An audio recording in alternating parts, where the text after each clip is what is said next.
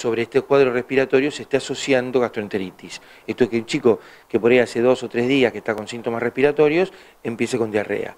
Creo que ahí hay que poner el alerta, ahí hay que rápidamente volver a consultar, si ya se consultó con el pediatra, para ponerlo sobre el tema de que el chico, además de tener un cuadro respiratorio, está teniendo un cuadro digestivo.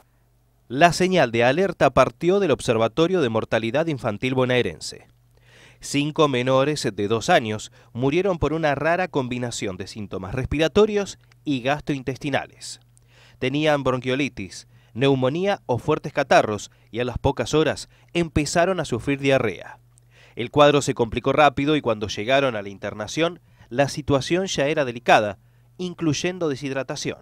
Una alerta epidemiológica de la Dirección de Epidemiología de la provincia, vinculada a cinco fallecidos en la región quinta, que es el conurbano norte, eh, donde había chiquitos que habían empezado con sintomatología respiratoria, que evolucionó con un cuadro de gastroenteritis, esto es vinculado de diarrea, deshidratación grave y, bueno, estos cinco casos que finalmente fueron fatales por acidosis metabólica, que es el final, digamos, de la deshidratación grave asociada a la gastroenteritis.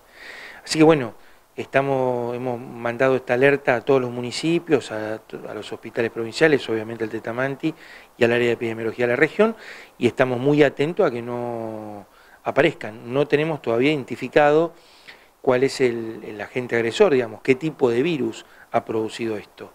Así que estamos muy alerta, estamos esperando a ver si ya empezamos, en cuanto tengamos qué tipo de virus se trata, estar un poco más encima de los casos por, por virus en particular, si se trata de esto, para que no evolucionen con la gastroenteritis y la deshidratación.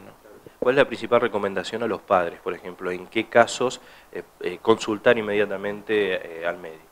Y nosotros la recomendación para esta época es que todos los chicos que tengan problemas respiratorios, ya sea tos, dificultad respiratoria, falta de aire, moco, bueno, claramente tienen que consultar con el, con el pediatra de cabecera. Lo más importante es que si el cuadro muta, gira de lo respiratorio a lo gastrointestinal, rápidamente hay que hacer la consulta porque, bueno, esta es una alerta epidemiológica que hay que tener en cuenta por la época en que se trata.